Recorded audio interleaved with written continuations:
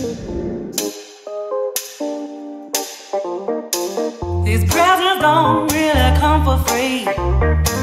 Your paycheck don't mean that much to me.